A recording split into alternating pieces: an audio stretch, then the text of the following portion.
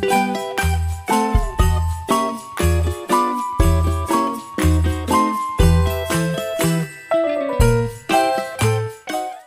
we go through? After you. Shame if it went to waste. Oh, um, yeah.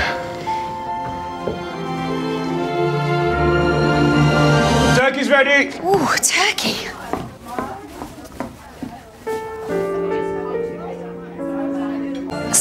Yeah? could you pass us the sprouts?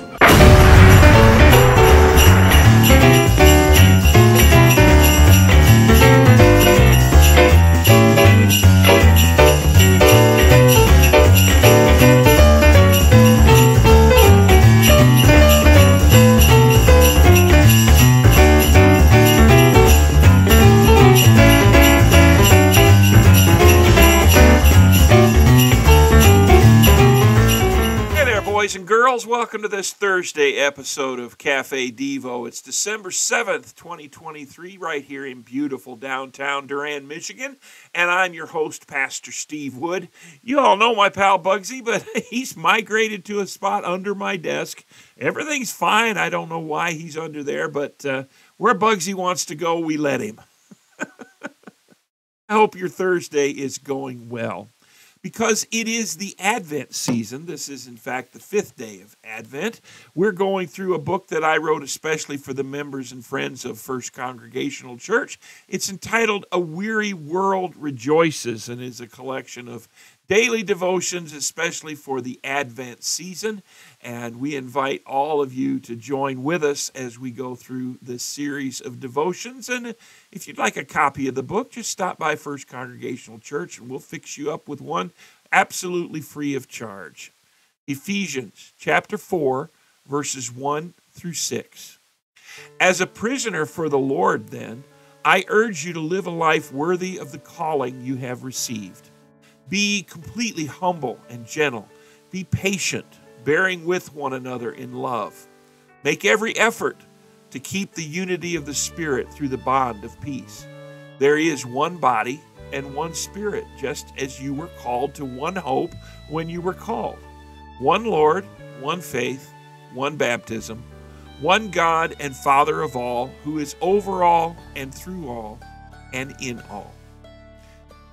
Creeds have been an important part of the church since the beginning, nearly. These statements of faith, handed down by our spiritual ancestors, help us to define and articulate foundational Christian beliefs that nearly all Christian churches share.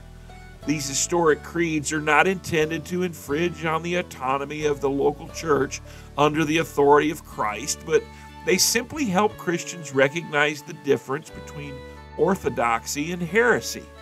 They help us maintain unity in the essential doctrines. One of the most well known creeds is, is the Apostles' Creed, and it's number 162 in our hymnals here at First Congregational Church. It dates back to about 350 AD.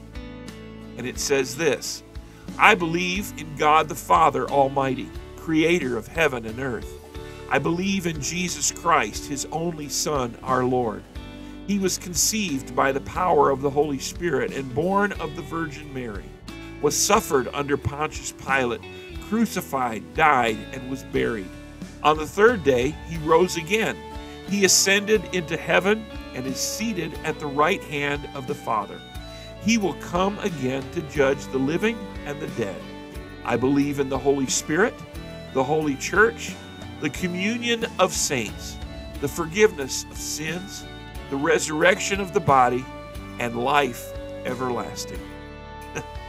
you know, there is hope found in these core beliefs that all Christians share as they point us to the hope of Christ, especially in the Advent season.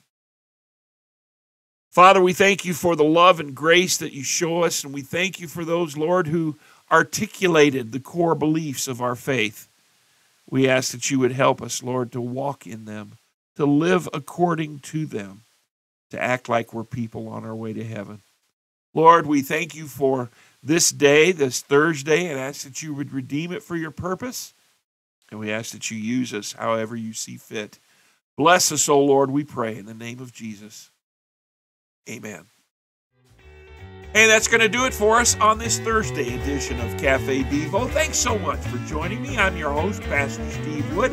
I hope t- our time together was a blessing to you, and I hope your Thursday is fantastic. Signing off for now.